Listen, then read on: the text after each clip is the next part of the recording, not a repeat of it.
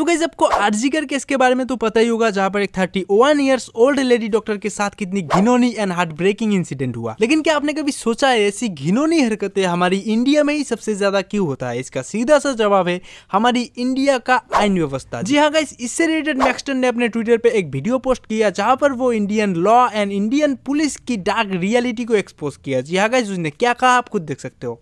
देखो, एक चीज़ मैं ब्लंट होकर कहूँगा, शुरू से मैं यही कहता आया हूँ। इंडिया की पुलिस एक नंबर की बहुत ही वाहियात पुलिस है। पूरी की पूरी करप्ट पुलिस है, चाहे एक नॉर्मल सा हवलदार हो, चाहे एसएचओ और पूजा खेड़कर केस के बाद तो ये भी कंफर्म हो गया कि आईएएस आईपीएस भी करप्ट होते हैं। यहाँ पे अगर कुछ भी गुना होता है, अगर इलीट के द्वारा होता है तो सबसे पहली चीज़ जो होती है, वो होती है सबूत गायब करने की। और इसमें ये कामयाब हो भी जाते हैं। सबसे पहली चीज़ ये होती है, ये केस को डाइवर्ट कर देते हैं, उसको सुसाइड बता देंगे, कुछ से कुछ बता देंगे और केस को क्लोज कर देंगे। चाहे इससे पहले ये पुणे वाला केस ले लो, जहाँ पर पुलिस ने बहुत ही खूबी से आरोपी को बचाने की कोशिश की थी।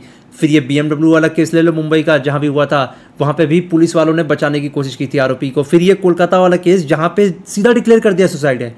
मतलब उनको कंफर्म था कि पुलिस उनका कुछ नहीं बिगाड़ पाएगी। फिर उसके बाद क्या हुआ? प्रोटेस्ट हुआ।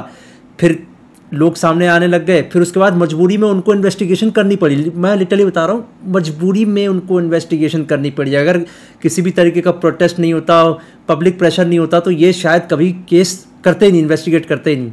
उसके बाद धीरे धीरे करके केस चला, फिर पता चला, आरोपी आया। और जो पहला आरोपी आया, वो निकला बली का बकरा। अब उसने भी नोटंकी शुरू कर दी। अब उसने नोटंकी क्यों शुरू की?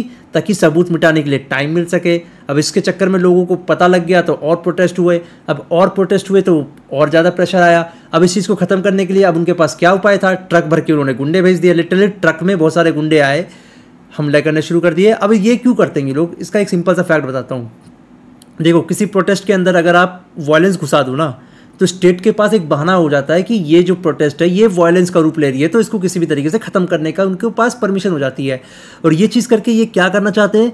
जो उनके इलीट्स हैं, जो अमीर लोग हैं, वो बच जाते हैं, उनको बचाना होता है। तो एक तरीके से देखा जाए ना, पूरी तरीके से जो लॉ एंड ऑर्डर है इंडिया का वो बहुत ही घटिया है। ये जो कानून है इंडिया के अंदर, ये सिर्फ़ गरीबों के लिए, अमीरों को इससे घंटा फ़र्क नहीं पड़ता। अगर आप अच्छे इलीट क्लास में हो इलीट क्लास से मेरा मतलब है आपके पास पैसा कनेक्शन और पावर है। तो आपके ऊपर इंडिया का कानून लगेगा ही नहीं। आप कुछ भी करके बच जाते हो। आप किसी को गाड़ी से उड़ा दो, तब भी आपका कुछ नहीं होगा। आप किसी के साथ कुछ भी उल्टा सीधा कर दो, तब भी आपका कुछ नहीं होगा। आपके पास सबूत गायब करने के वो सारे मौके मिलेंगे। इनफैक्ट मैं ये बताता हूँ ईमानदारी से, अगर सोशल मीडिया और पब्लिक प्रेशर ना होता तो ये शायद कभी कोई जो आम इंसान है, उसको थोड़ा सा भी इंसाफ नहीं मिलता यार।